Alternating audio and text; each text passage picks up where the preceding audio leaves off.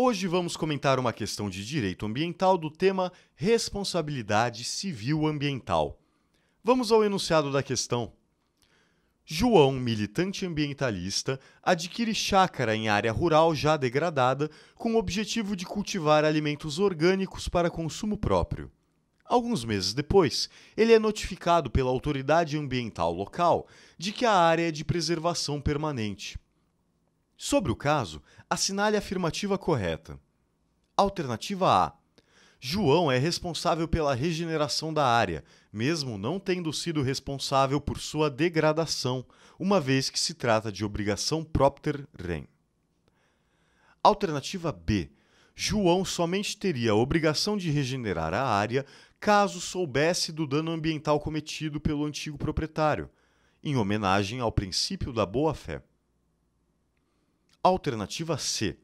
O único responsável pelo dano é o antigo proprietário, causador do dano, uma vez que João não pode ser responsabilizado por ato ilícito que não cometeu. Alternativa D. Não há responsabilidade do antigo proprietário ou de João, mas da administração pública, em razão da omissão na fiscalização ambiental quando da transmissão da propriedade. Então, você sabe a resposta? Pense um pouco e releia o enunciado se achar necessário. Aguarde 30 segundos. Ou, se você já souber a resposta, clique em uma alternativa e veja o comentário.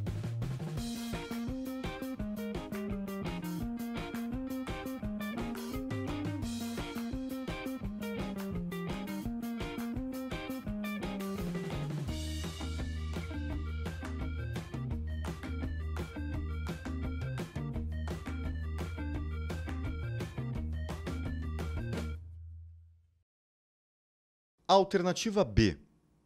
A responsabilidade civil ambiental é objetiva, ou seja, independe de dolo ou culpa. Logo, João responderá tendo ciência ou não da situação.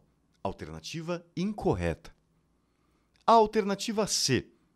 Quem responderá não será o antigo proprietário, mas sim João, pois é considerado poluidor todo causador direto ou indireto do dano ambiental, nos termos do artigo 3, inciso 4 da Lei 6.938 de 1981. A alternativa também está incorreta. Alternativa D, também incorreta, pois é possível discutir a responsabilidade ambiental em razão de omissão. Merece ser descartada, portanto. Alternativa A, alternativa correta João adquiriu a chácara em área rural já degradada e o passivo ambiental transfere-se ao adquirente, ou seja, a obrigação é propter rem. Acompanha a coisa. Não esqueçamos que o antigo proprietário é de igual forma responsável. Assim, ambos poderão ser responsabilizados. É a que responde nosso teste. Gostou? Não deixe de compartilhar e se inscreva em nosso canal. Até a próxima!